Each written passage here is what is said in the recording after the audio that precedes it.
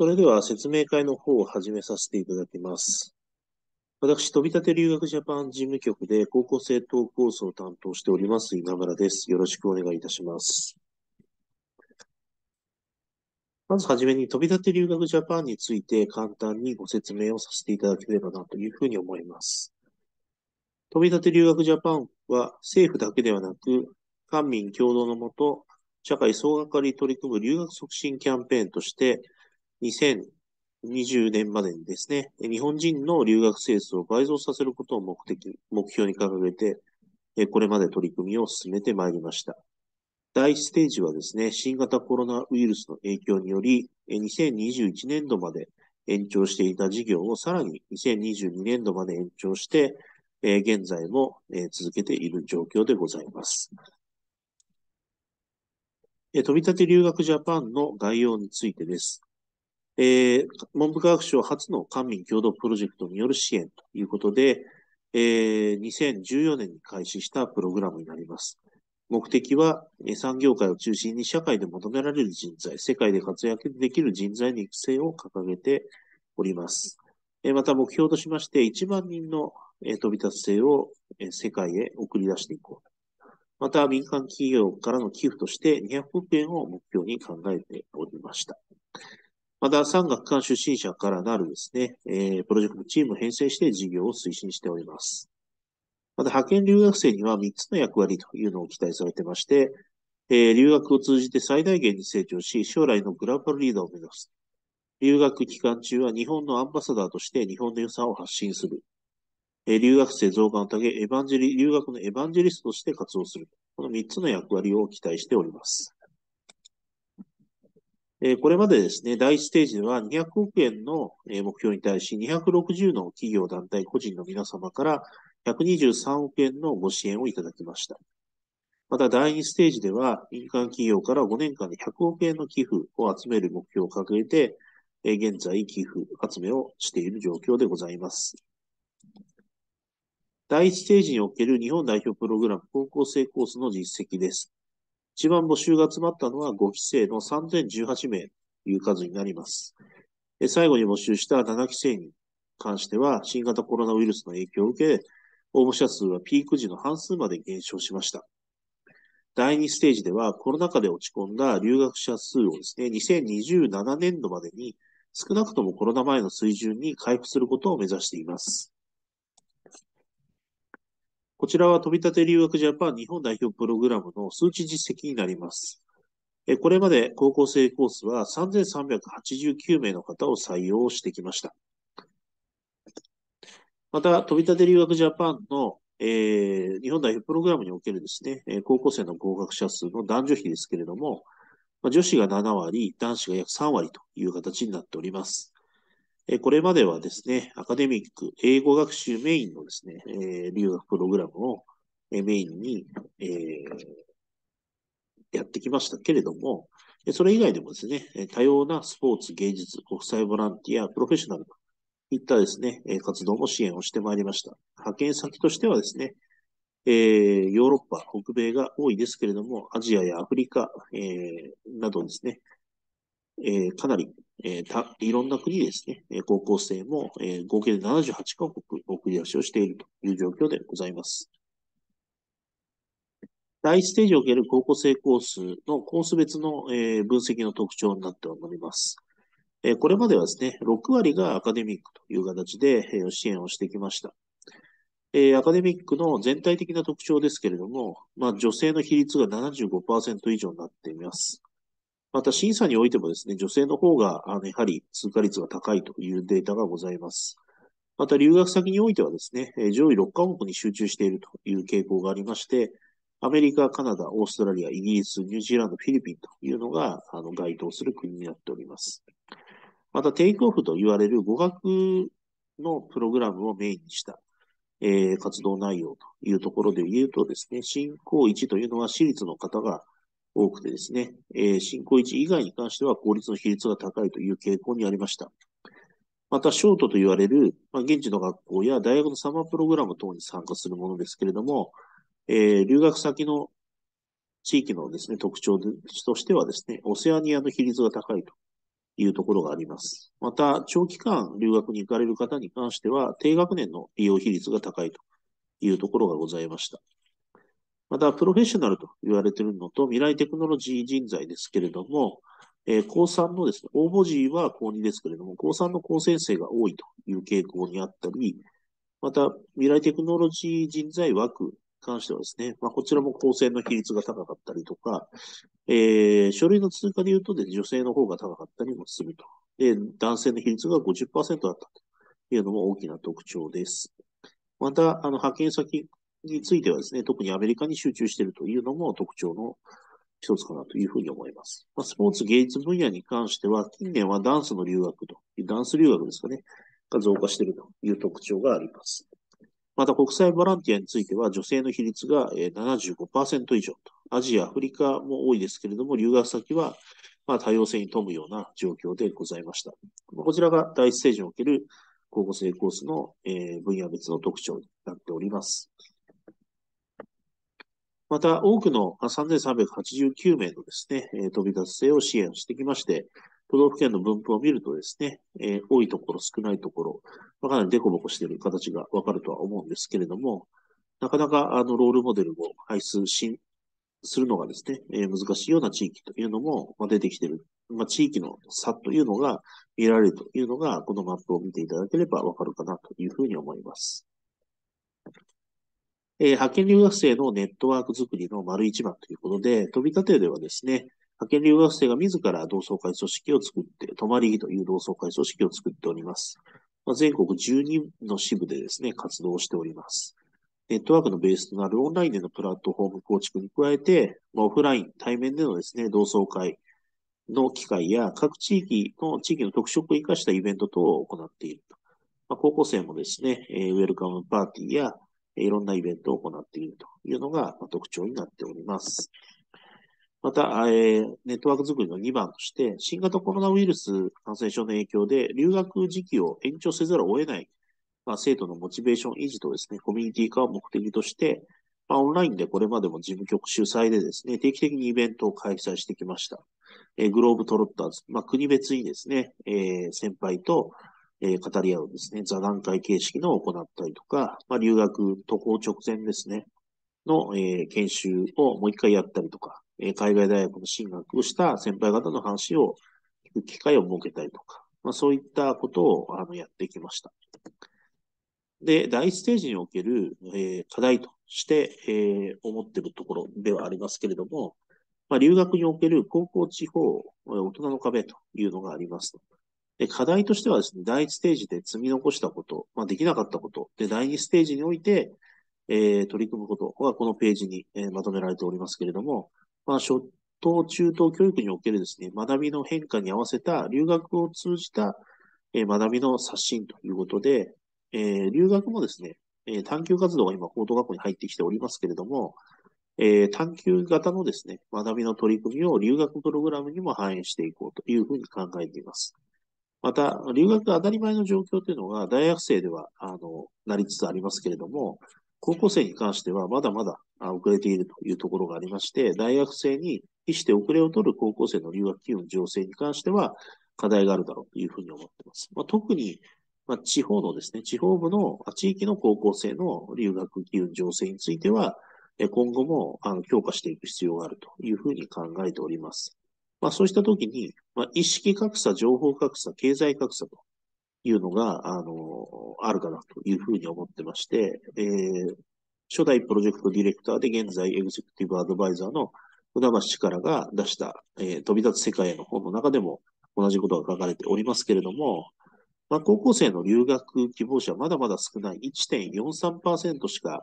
えー、留学行っていないというような状況です。まあ、高校で海外留学へ一歩踏み出せば、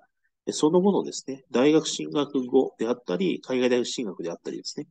えー、高校卒業後の、えー、留学に対する可能性というのがかなり高くなります。なので、早期に第一歩を踏み出すというのが非常に重要だというふうに考えています。また、地方の高校生には身近に海外留学を経験した人がいないという状況があります。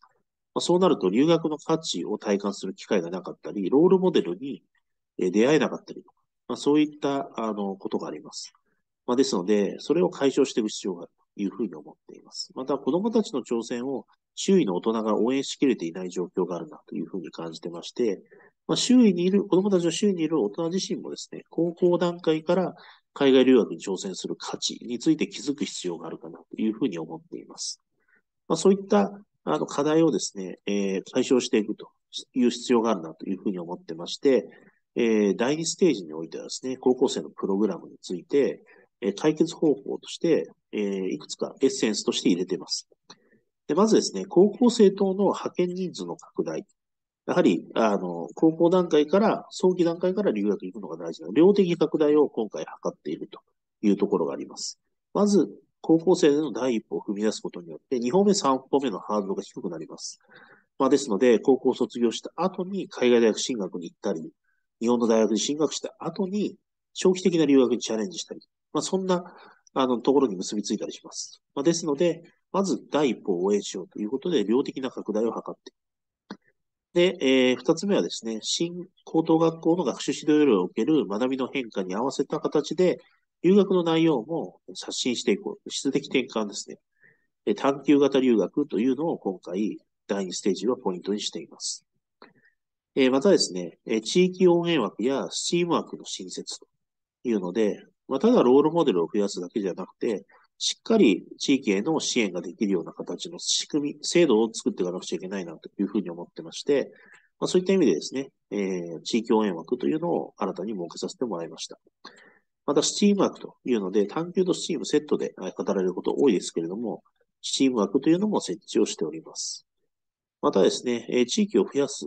地域からの、あの、海外へのチャレンジを増やすということを我々が言っていくだけじゃなくてですね、地域の皆様と一緒にやっていく事業というのを考えておりまして、まあ、それが拠点形成支援事業というので、まあ、高校生等コースのですね、拠点支援型の、えー、留学プログラムというのも開始をします。また、早期段階からの多様な留学の支援と選択肢の拡大ということで、え、高校1年生ですね、自由な留学にチャレンジできるような仕組みというのも考えて、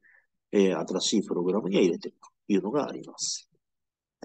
それでは、新しいプログラムについてのお話をさせていただければなというふうに思います。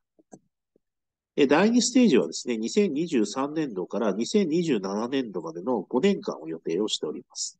まあ、その中で以下の3つのプログラムをやっていきます。えー、新日本代表プログラムでは5年間で5000名の生徒学生に経済面を中心に留学支援を行い、留学機会をですね、創出することを通じて、日本の留学機運を再び盛り上げるということを目指しています。まあ、ここで高校生は4000名というので、大学生の4倍高校生がいるというような形。まあ、先ほど言いましたように、えー、数の拡大というところがあります。えー、で、日本の未来を作るグローバルリーダー像と留学を通じた人材育成のアップデートを図っていくと。で、高校生は探究型留学というのを推進していきますと。で、また、我々だけじゃなくて、地域の皆様と一緒に、えー、グローバル人材育成に取り組んでいくということで、留学モデル拠点地域を全国に作っていきたいというふうに考えております。えー、そういったとしますと、第2ステージの飛び立ての高校生を対象にしたコースでございますけれども、飛び立て事務局がやる、この左側の緑のもの。まあ、これは現在募集しているやつですけれども、まあ、それに加えて来年度からですね、えー、都道府県、47都道府県からグローバル人材育成に取り組みたいというところを公募しまして、そこから12地域を採択していく予定でございますけれども、この右側のオレンジ色の部分、コンソーシアム、協議会を地域で作っていただいて、拠点形成支援型の飛び立てのプログラムをやっていただくというのが入ってきます。まあ、これの主な特徴で言えば、地域で採用していくというところではありますし、また、あのコース別の特徴で言うとですね、地域探求コースというのが入りますと。地域探求コースは、地域が独自に設定するコースで、最大4名までのチームを作って応募をすることが可能です。まあ、ですので、学校内でやってる活動のそのチームをそのまま海外でそのテーマをですね、どういうふうに扱われているのかというのを比較したりとかですね、まあ、そんなことができるような形になります。地域の特徴を踏まえて、自らの興味関心から発見された地域特有の課題解決やえ地域貢献につながるようなテーマを海外で探求するというのが地域探求コースになっております。1地域あたりの採用人数は50名程度を予定をしております。2023年度から2024年度にかけて12地域を採択する予定でございます。えー、事務局のですね、ノウハウの横展開を図って、 good practice を全国各地に共有し、留学モデル拠点地域を形成形成していこうというのが、えー、このオレンジ色の右側のですね、コンソーシアムを作って、拠点形成支援をしていくというような事業になっております。ですので、来年はですね、え、拠点形成支援型のプログラムの方も同時に応募さをあの募集をするという形になってきます。でですね、えー、緑色のところが飛び立て事務局が、えー、第2ステージにおいて募集する人数になっています。募集回数としてはですね、4回を予定しておりまして、700名を4回。で、2800名ですね。で、えー、オレンジ色の部分、コンソーシアムで、えー、やっていく。ね、都道府県単位でやっていくというのは、令和5年、6年と2年にわたって、えー、地域を採択してきまして、まあ、合計で1200名の方を、えー、こちらでは支援をしたいなというふうに思います。合わせて、えー、4000名という形の数になっております。えー、こちらではですね、新日本代表プログラムの目的です。えー、大学生、高校生共通しておりますけれども、えー、一番目に掲げるところが非常に重要であります。日本の未来を作るグローバルリーダー像と、留学を通じた学びを刷新し、日本の社会課題解決や産業創造に貢献する人材の育成を行うということで、まあ、飛び立てはですね、産業界から主にご支援をいただいておりますけれども、寄付をいただくだけではなくて、人材育成の課題というのも、あの、一緒に取り組んでいるというのも特徴になります。え日本の課題解決や、日本の社会課題解決や産業創造に貢献する人材の育成というのを一緒に取り組んでいきますので、え高校生のコースでもですね、え、この一番に掲げるところのエッセンスというのをいろんな部分で入れておりますので、ぜひ覚えておいていただけるとありがたいなというふうに思います。え、こちらはですね、え、新しい、え高校生コースの特徴になります。え成績合格力は不問です。やりたいことを行きたい場所で行きたい期間行けるような形のルール設定にしています。え留学プランを自分で自由に設計できる。まあ、これは第一ステージから同じですね。座学だけではなくて多様な探究活動を支援する。探究活動っていうのがメインになってきます。え、座学というのは語学学校での通学であったり、え、現地の学校に通われたりというのが座学というふうに考えておりますけれども、多様な探究を支援できるような形を考えています。え、またですね、え、資金で言えば民間寄付による返済不要の奨学金。また、事前事後研修が留学の前後にあるだけではなくて、帰ってきた後の事後活動というのを手厚くしているというのも、第2ステージのですね、え、高校生のプログラムの特徴になります。また、あの、これまで派遣したですね、飛び立て生のコミュニティの一員としてですね、いろんな活動をしていただきますので、えー、飛び立て生に選ばれるとですね、研修、事前事後研修にも、この9000名の飛び立ての中から先輩たちが、えー、皆さんの研修に一緒にですねえ、伴走してくれたりというのが出てきたりもします。え次に、主な変更点についていくつか説明をします。えー、なかなかですね、都道府県ごとの日本人の海外留学生数には地域差があるというふうに思っております。え特に高校生においては身近にあの海外留学を経験したロールモデルがいないというような状況もありまして、まあ、これをですね、いち早く回避する必要があるかなというふうに思っています。まあ、留学価値をですね、体感する機会がロールモデルがいると多くありますので、まずはですね、ロールモデルが全国各地にいる状態を作っていくっていうことが重要かなというふうに思ってまして、まあ、今回こういう地域応援枠という制度を新たに新設しました。必要となる条件で言えば、20名以上応募のあった都道府県を対象といたします。で、毎年ロールモデルが配置される状態を全国に作るために、えー、対象地域のですね、えー、上位5名を採用していくという形で、えー、考えております。えー、新高校1年生に関しては、新高校1年生以外の応募状況を鑑みて判断します。都道府県別の応募状況に関しては、報道発表の時に全て公表させていただきます。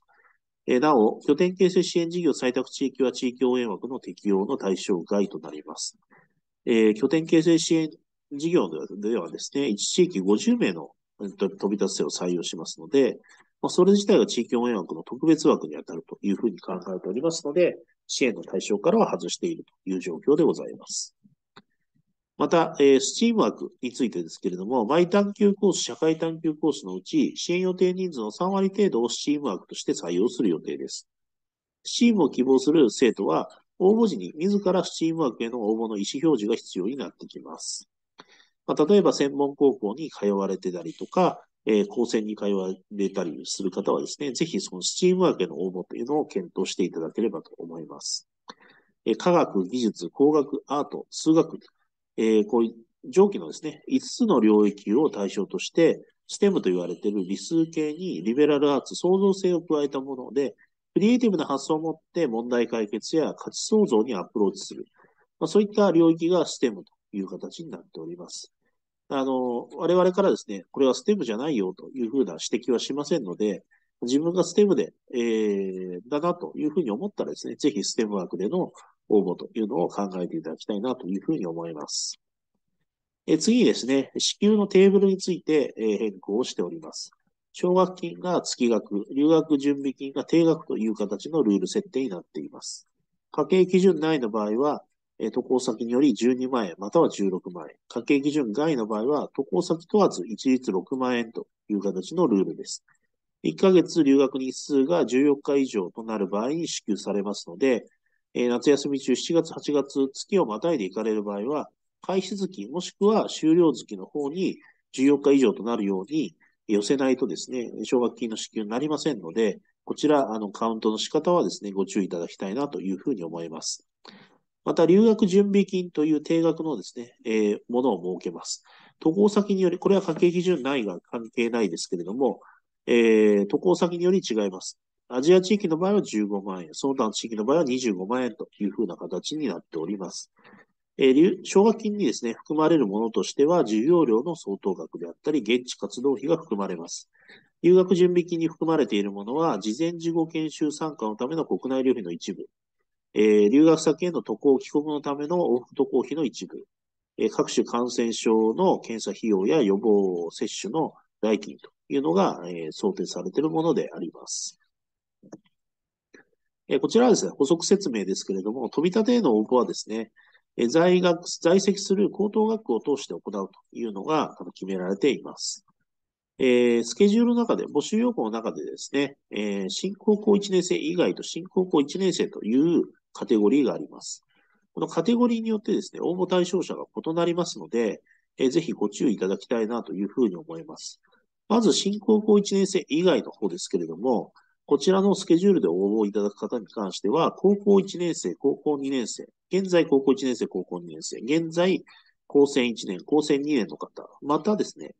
中等教育学校または併設型中高一貫校の中学3年生で、2023年4月に在籍する高等学校を通じて応募が可能な方に関しては、こちらの2月募集開始で、2月の末に締め切るスケジュールでの応募をお願いいたします。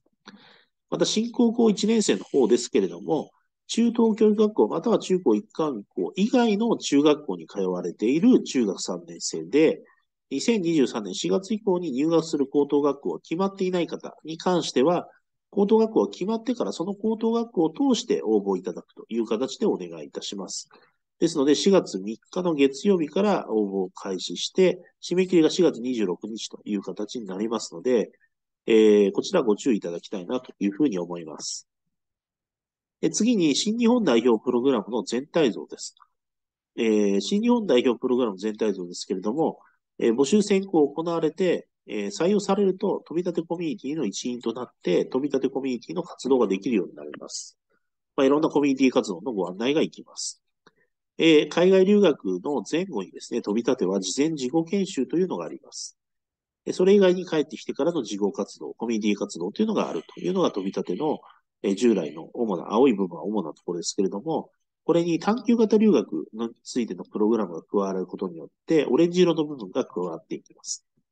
え留学を通じた探究活動の成果をプレゼンという形でプレゼン動画を撮っていただいて提出いただきます。その提出していただいたプレゼン動画をですね、選考委員の方に見ていただいて、フィードバックのコメントをつけてもらいます。そのコメントを我々の方から皆さんにお返ししますので、え受け取ってですね、事故の振り返りを行っていただいて、レポートを書いていただくと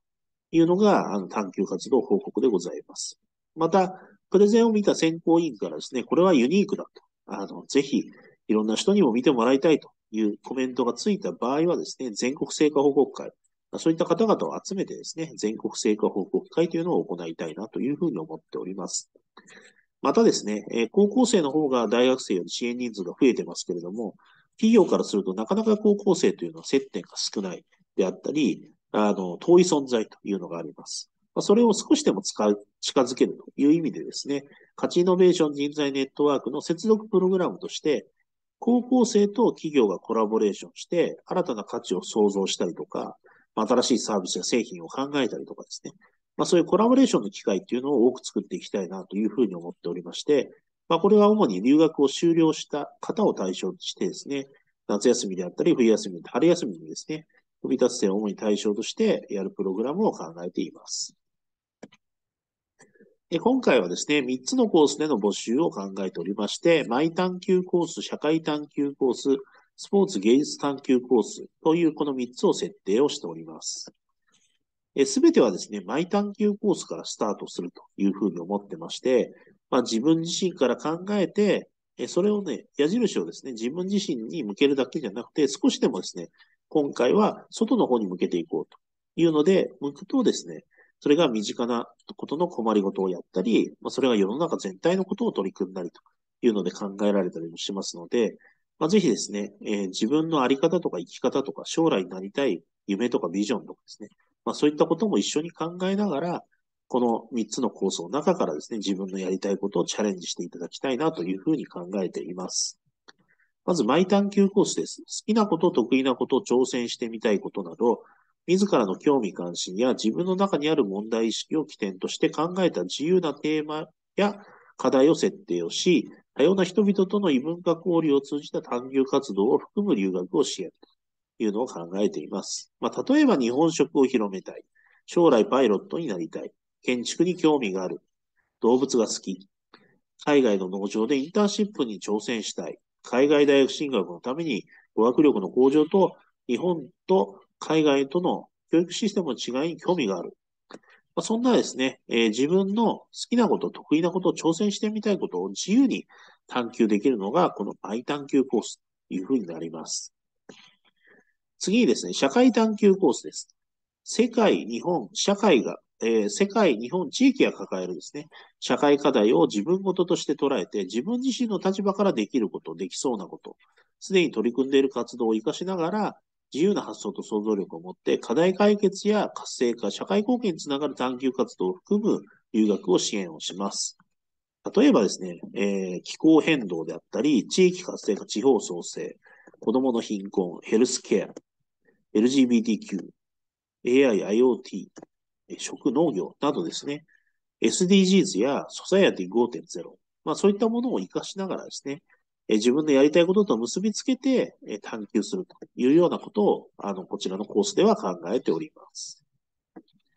え次に、スポーツ、え芸術探求コースですね。自身が所属する部活動や学校外の活動を活かしてですね、海外の指導者の下での技術力や表現力のレベルアップを目指すとともに、スポーツ芸術を通じた課題解決や社会貢献につながる探求活動を含む留学を支援します。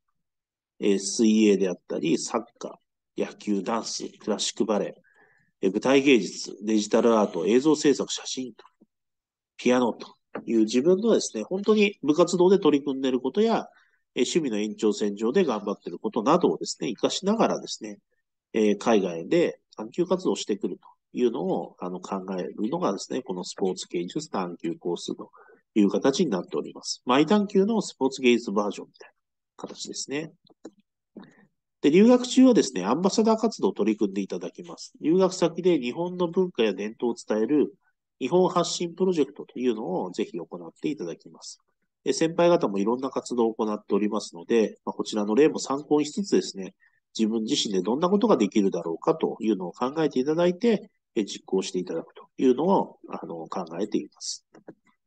また、留学中とか帰国後はですね、エヴァンジェリスト活動に取り組んでいただきます。え自分自身の経験を語り伝えることで、後輩など次の世代にバトンをつないでいく役割があります。学校の中で活動するだけではなくてですね、学校の外でえー、同期で選ばれた飛び立つ生と一緒に活動するのもいいですし、世代を超えたですね、飛び立つ生たちとコラボレーションしながら活動するというのも、あの、考えられるところでございます。え自分自身でですね、考えた計画の中でですね、やっていただくというのを考えています。え次に、第8期の応募と選考についてお話を進めていきたいなというふうに思います。求める人物像として、第1ステージの求める人物像からですね、探求活動の部分をバージョンアップさせて、えー、括弧1番のところは膨らませて書いております。いくつか読み上げたいと思います。好奇心を原動力にして、自由な発想で新たな価値を創造する力。探求心を持ち続け、視野を広げ、情報収集しようとする姿勢。まあ、こういったところがですね、探求に絡む部分で入れたりします。やはり、あの、仮説を持ってですね、えー、自分の考えのもとに海外で探求をしていくわけなんですので、えー、自分のですね、調べた事前の情報が合ってるか合ってないかもそうですし、実際見てきたものが正しいと思いますので、えー、視野を広げてですね、情報収集しようすることで、真実というかファクトを取りに行くという、この、あの、プロセスが大事だというふうに思ってまして、まあ、そういったところを入れてたりですね、まあ、そういう部分で言えばですね、まあ、海外に行って、あの、いろんな挑戦をしておかなくちゃいけないです。ですので、まあ、失敗を恐れずに未知の領域に対しても試行錯誤しながら、何回も何回もですね、挑戦していけるようなですね、強い気持ちって持ち続ける必要があるなというふうに思ってまして、まあそういったエッセンスもこの中に込めているというところでございます。次に派遣留学生の要件です。えー、飛び立てはですね、えー、日本の、日本国籍を有する生徒または日本への永住権が許可されている生徒を支援しております。えー、赤字になっているところがですね、主な注意点になりますけれどもえ、3番目のところで在籍する高等学校において卒業を目的とした家庭に在籍する生徒等というのがございます。また、4番目のところで受け入れ先、機関からの受け入れ先の許可はですね、採用後でも構いませんと。え応募段階ではですね、許可が取れていなくても構いませんので、こういうところでこんな活動をしようと思っているというプランをですね、書いていただいて、えー、採用が決定した後にですね、正式に申し込むみたいな形で考えていただけるとありがたいなというふうに思います。また、5番目のところで、えー、先ほども家計基準内外の話ありましたけれども、えー、機構の第二奨学金の予約採用に掲げる家計基準を、えー、飛び立てでは採用しております。えー、支援予定人数全体のうちですね、1割程度をこの上限に、機構の第一奨学金の掲げる家計基準を超える生徒等を支援する予定ですということで、家計基準を超える生徒に関しては支援をしないのではなくてですね、1割程度に限定されるというところがあります。今回700名は募集ですので、70名程度になるという形になりますので、えご承知いただきたいなというふうに思います。また、留学終了後はですね、在籍する高等学校に戻り、学業の継続または卒業する生徒等というのも、あの、要件に書いてありますので、ご注意いただきたいなと思います。で、9番目のところで、インターンシップ等でのですね、えー、報酬を受け取ったり、他団体からのですね、留学のための奨学金を受け取る場合に関しては、その総額が本制度による奨学金の総額を超えない制度ということで、飛び立てからいくらもらって、飛び立て以外からいくらもらうのかというのを算出していただいて、え飛び立てからもらう金額を超えてなければもらっても構いませんよという形ですので、えー、そういったですね、他団体からの奨学金を受ける場合はですね、えー、留学計画書の中に記入する欄がありますので、まあ、そちらに、え書いていただきたいなというふうに思っております。またこちらはですね、在籍高等学校の要件になります。えー、危機管理体制についてはですね、しっかりと整えていただかないと応募することはできませんので、えー、こちらご注意いただきたいなと思います。えー、韓国のハロウィンでの、あの、事故があったと思うんですけれども、えー、日本人の若者が、あの、巻き込まれたというので、ニュースが入りました。20代と10代の方というので、まあ、そういった時にですね、あ、これは飛び立て生じゃないかというふうに、紹介が入ることもあるんですね。現実として紹介が入ったわけですけれども、まあ、その時飛び立つ生だった場合は、速やかに学校に連絡をしてですね、えー、親御さんとも連携をしながらですね、え情報共有していくという体制をとっていくんですけれども、まあ、それが速やかに連絡が取れる状況になかったりするとですね、大変なことになりますので、えー、ぜひ危機管理体制をですね、学校の中でもしっかり整えていただくというのが条件としてありますよというのが、この在籍高等学校の要件としては書かれております。また、派遣留学生が卒業した場合でもですね、本プログラムの支援が完了するまでに、あのしっかり対応していただきますよというのを書かせていただいておりますので、まあ、ぜひですね、あの、高校3年生で留学に行かれる方もいらっしゃると思うんですね。その人が終わった後でも、事後研修のご案内等ですね、あと支給の、奨学金の支給のあのご案内とかも学校を通じて行っていきますので、その手続きとかもですね、その方の支援が全て完了するまでは、あの学校に行って、高等学校に行っていただく必要がありますので、えぜひその旨もですね、えー、ご了承いただいた上でですね、応募いただきたいなというふうに思っております。えこちらはですね、留学計画の要件になります。適用されるあの留学計画ですけれども、2023年7月10日から2024年3月31日の間に、諸外国において留学が開始される計画が対象となっております。また、留学期間がですね、14日以上1年以内というのを満たす計画であることが求められます。え在籍高等学校の校長先生が教育上有益と認める計画であってえ、探究活動は必ず含まれていて、アンバサダー活動、エヴァンジェリスト活動が含まれている計画であることが必須となります。え高校3年生で留学に行かれるというのを、え現在検討している高校2年生の方に関してはですね、えー、2024年の3月31日までに帰国、日本に到着する留学計画であることが、えー、必須となりますのでですね、えー、高3に上がっての春休みにですね、留学を考えている方については、こちらの点は、あの、ご注意いただきたいなというふうに思います。また、海外危険情報、感染症危険情報の取り扱いについてですけれども、応募時点で受け入れ機関が、の所在地がですね、レベル2以上であっても、選考には差し支えありません。まあ、飛び立てはですね、基本、レベル2以上となった場合は、まあ、原則、奨学金の給付の対象外となります。まあ、ですけれども、あの、今、新型コロナウイルス感染症の状況により、あの、世界の状況が刻々と変わってくると、まあ、ニュースでもいろいろあると思いますけれども、えー、変化しているというのがありますので、応募時点ではですね、受け入れ機関の所在地がレベル2以上あっても構いませんので、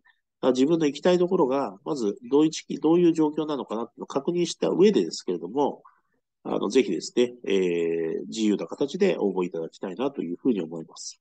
またですね、常に自分の行く、行きたいなと思っている先に関してはですね、えー、外務省の海外安全ホームページでですね、えー、常に確認できることになって、確認できる状況がありますので、まあ、こちら、あの、適時ですね、確認していただきたいなというふうに思います。また、留学期間についてですけれども、留学期間はですね、留学先における受け入れ先機関が発行する受け入れ許可証に基づく実際の活動の開始日から終了日までのことを言います。渡航及び帰国に関わる期間は含まれませんので、ご注意いただきたいなというふうに思います。現地の到着日、現地の出発日はカウントしませんので、えー、現地到着日にですね、何らかの活動が開始される場合であっても、移動を伴っている場合はですね、日数のカウントには該当しませんので、ご注意いただきたいなと思います。こちらは留学期間の考え方です。先ほど申し上げました通り、留学期間は受け入れ先期間での活動開始日から活動終了日まででカウントをいたします。ですので、入国、出国のところはカウントはしません。えこちらの方はですね、スポーツ芸術探究コースで、えー、1ヶ月以内留学行くという計画をなされた方です。最初の1週間は語学学校に通い、え次の週から、えチームのトレーニングに参加するというプランです。その空き時間で探究活動を進んでいるという形です。で、この場合はですね、受け入れ先機関からの証明書は、語学学校プラスチームトレーニングの先からいただくという形になりますので、受け入れ証明書は2つ必要になりますけれども、合算する形で留学日数というのをカウントできるようになります。まあ、そうなると、語学学校の授業開始されるのが8日ですので、8日からと、えー、チームトレーニングが終了するのが30日という、それを合わせてですねえ、23日間という形になります。23日、えー、北米に行かれる方に関しては、えー、家計基準倍の場合は41万円。家計基準外の方は31万円という形になります。で、奨学金と準備金、まあ、いつ、どのタイミングで払われるかというのを気にされると思うんですけれども、まず皆さんのお手元に行くのはですね、留学準備金の方が先に支給される形になります。え5か5ヶ月以上行かれる方に関しては、毎月毎月在籍在籍確認をさせていただいて、奨学金を振り込みますけれども、それ以外の方、5ヶ月未満の方に関しては、帰ってきてから書類を提出していただいて、え一括でえ生産をしていくという形になりますので、え一括で支給をしていくという形になりますので、先に皆さんのお手元に行くのは留学準備金の方になります。まあ、時期としては事前研修が終わった次の月にですね、え振り込んでいくという形を予定をしております。詳しくは募集要項をご覧いただきたいなというふうに思います。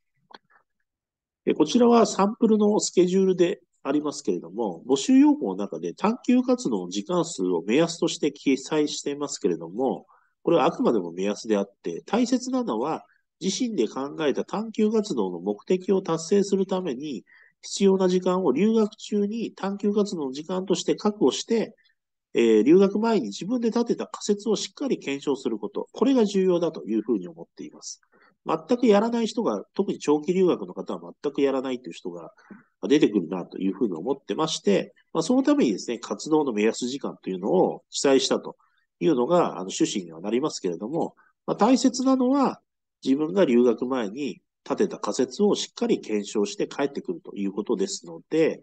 えその辺はですね、えご注意いただきたいなというふうに思います。こちらは各コース別のですね、支援予定人数です。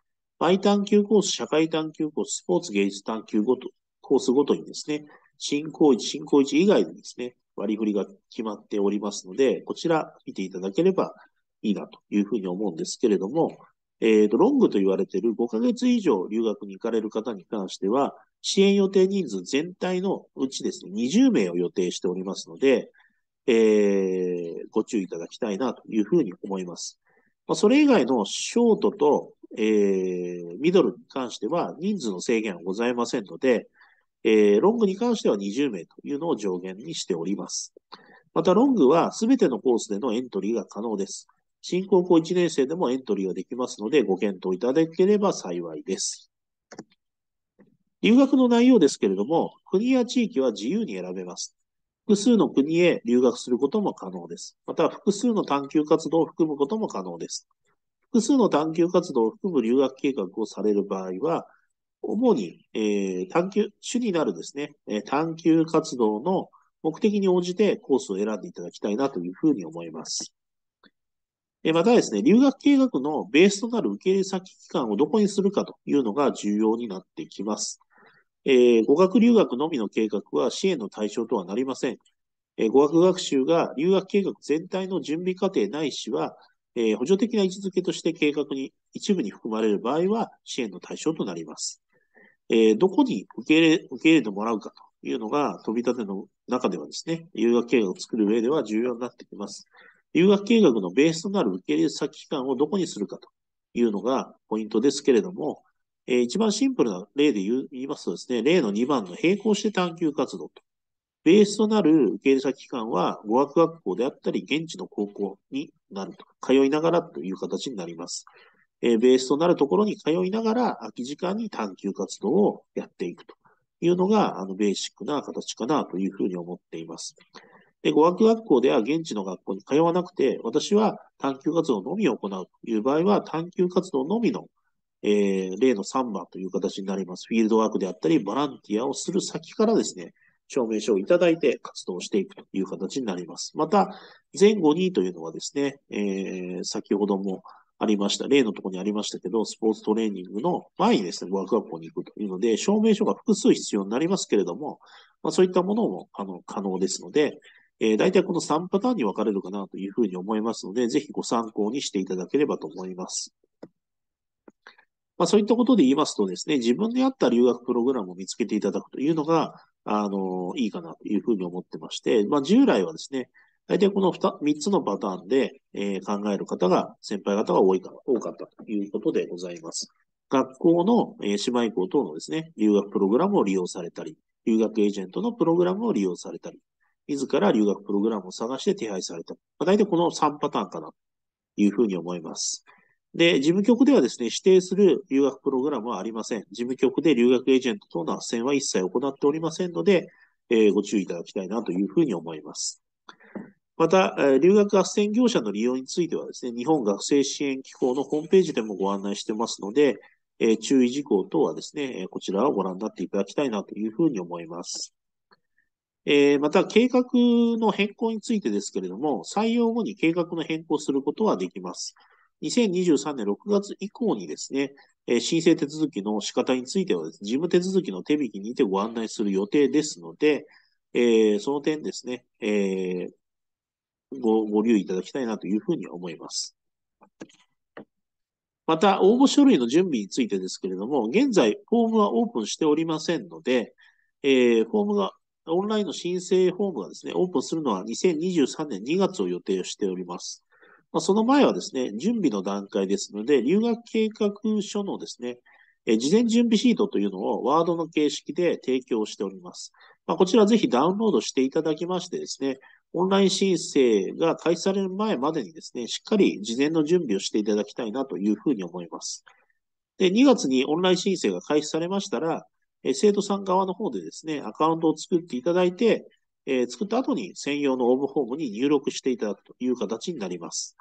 で新高校1年生の申請は2023年4月3日を予定しておりますが、2023年の2月以降に事前にアカウントを作成することは可能です。まあ、しかし、応募フォームに入力することはできませんので、まあ、こちらご注意いただきたいなというふうに思います。で、新しいあのオンラインシステムですけれども、え生徒さん側の方でマイページという形で、え生徒さんもアカウントを持つ形が最大の特徴になっております。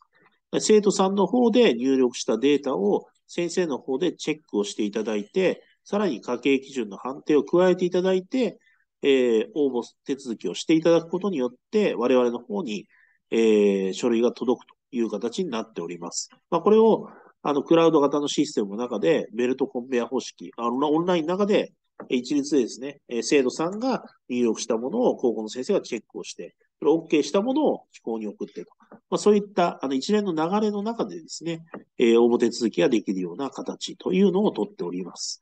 こちらのシステムをですね、今現在準備をしておりますので、準備ができ次第ご案内をさせていただきたいなというふうに思っております。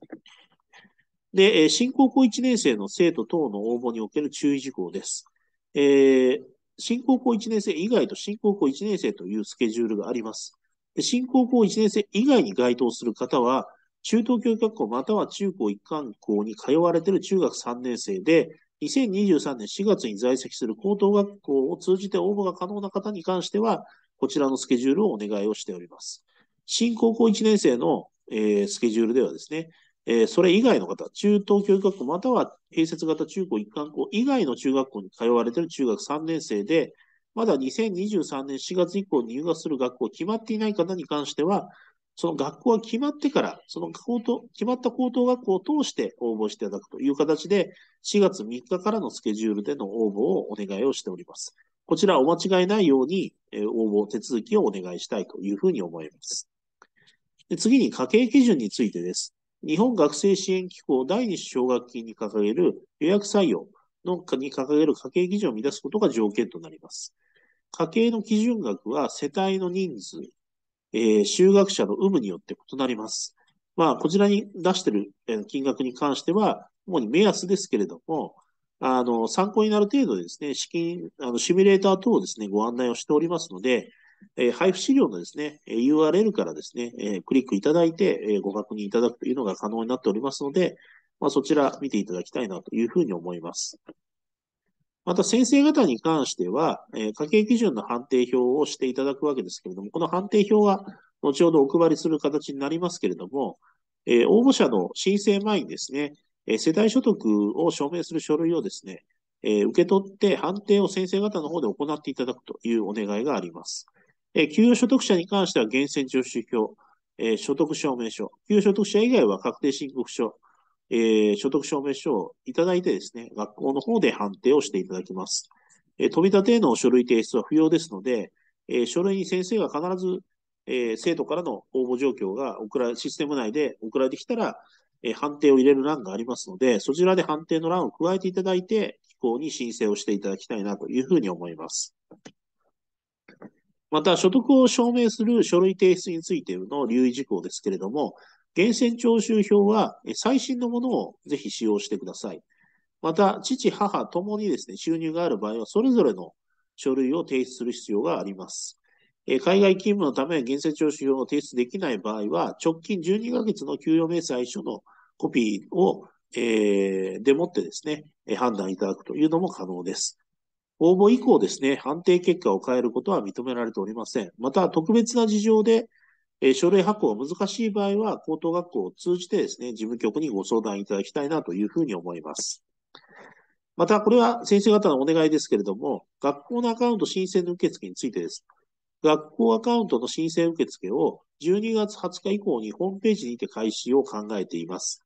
学校アカウント申請登録がない場合は、生徒の申し込みを行うことができません。えー、生徒がシステムに入力する前に必ず学校アカウントの申請登録をお願いいたします。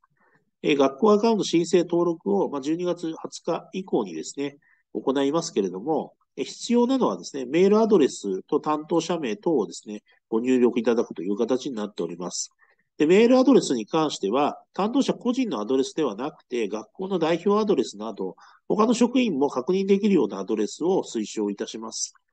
で、アカウントがですね、えー、登録が終わるとですね、えー、アカウント、アカウント、事前にアカウントの登録をいただいて、えー、準備がですね、整ったらですね、学校アカウントの発行、パスワード等をですね、えー、いただ、登録いただいたアドレスに一気にお送りするという形になります。で、そこからですね、えー、ログインをしていただいて、学校のマイページに、えー、進んでいただくという形で、え考えております。なので、まあ、年内にですね、え学校アカウントの申請フォームに関してはオープンしたいというふうに思っております。で、えー、学校アカウントのですね、申請完了メールにて、家計基準の判定表のダウンロード URL を添付しようというふうに思っておりますので、まあ、早めにですね、家計基準内外かをですね、判定できるような状況っていうのを各学校の中で整えられるように、えー、させていただければいいかなというふうに思っております。えー、オンライン申請システムがですね、オープンしたら学校のマイページからあ同様にダウンロードできるようになります。えー、生徒からですね、応募申請がありですね、オンライン申請時に家計基準を満たしている否かをですね、入力する欄がありますので、必ず全応募者分のですね、判定を先生方にお願いをしております。えー、歳費に関わる重要なものですので、間違いなきようにご留意いただければ幸いです。応募スケジュールですけれども、えー、現在高校1年生、2年生、中等教育学校または中高一貫校の中学3年生に関しては、こちらのスケジュールになっております。3月中に書面審査をして、4月の1日から16日までの間に、土曜、日曜が3回あるんですけれども、そちらのタイミングでですね、各地で面接を行ってい行っていく予定です。またこちらはですね、中高一貫校、中等教育学校以外の中学校に通われている中学3年生のスケジュールになります。まあ、従来は、えー、この新高一のスケジュールに関しては動画審査という形をやってきました。えー、動画審査に関しては人物をなかなかしっかり判断できないというのが問題がありまして、まあ、今回はより人物を重視するというところから総合審査方式という形で全員面接をするという形に変えさせていただいております。えー、総合審査とは、同じ日に書面審査と面接審査を行うという方式になります。え、5月13日、14日のこの2つの日程ですけれども、全国各地で面接を行っていきますので、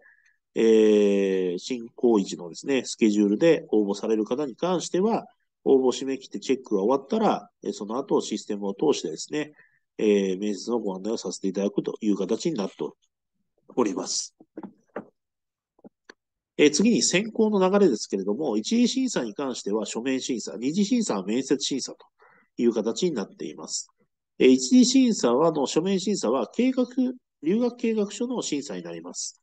え留学の目的が明確であるか、応募理由が明確であるか、目的を達成させるために適切な留学先、期間、探求活動内容であるか、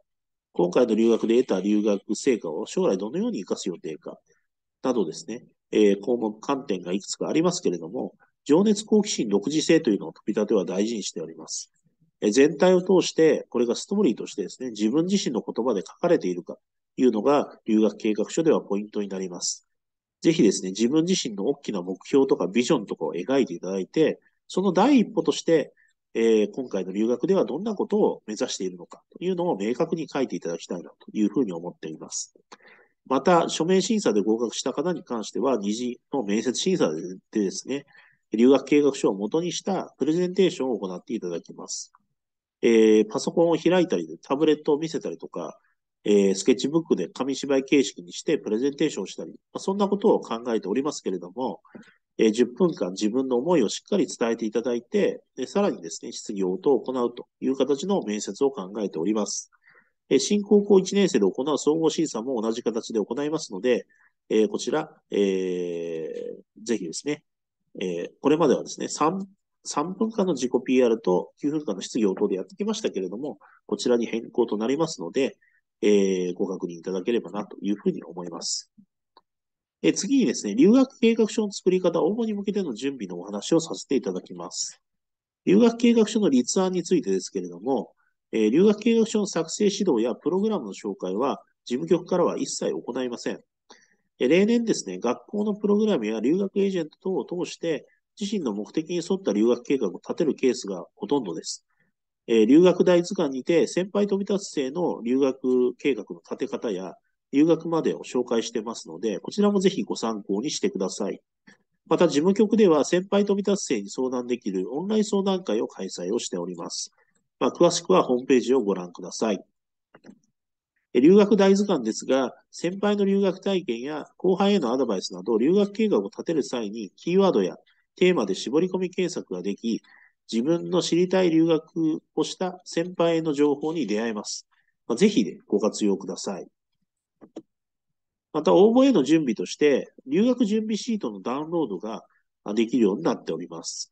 えー、高校生等コースのページを開いていただいて、応募への準備、お役立ち情報から、えー、ダウンロードができますので、こちら早めにダウンロードしていただいて、えシステムのオープンするまでの間にですね、下書き等をですね、やっていただいて、えご準備いただきたいなというふうに思います。で、えフォームがオープンしましたら、下書きいただいたワードの書かれている情報をですね、えコピーしていただいて、フォームの方に貼り付けしていただくことで、えー、代用できますので、ぜひこちらの下書きのシートをご活用いただきたいなというふうに思います。またこの下書きシートにはですね、フォームに、あの、実際に書いていただく項目が全部載っておりますので、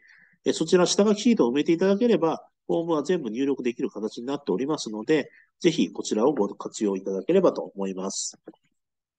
最後にお役立ち情報のご案内です。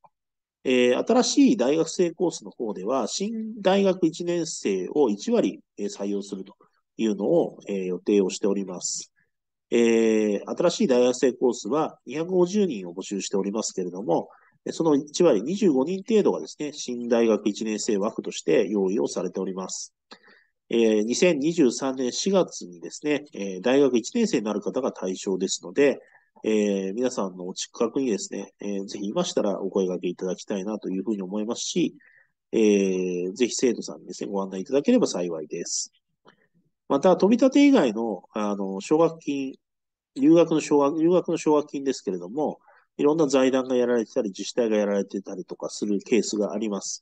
まあ、それを一気にあの検索できるような形で、我々の方でも情報提供を行っておりますので、えホームページからですね、え留学の奨学金検索ができるようなページがありますので、まあ、こちらぜひ、あのご覧になっていただけると幸いです。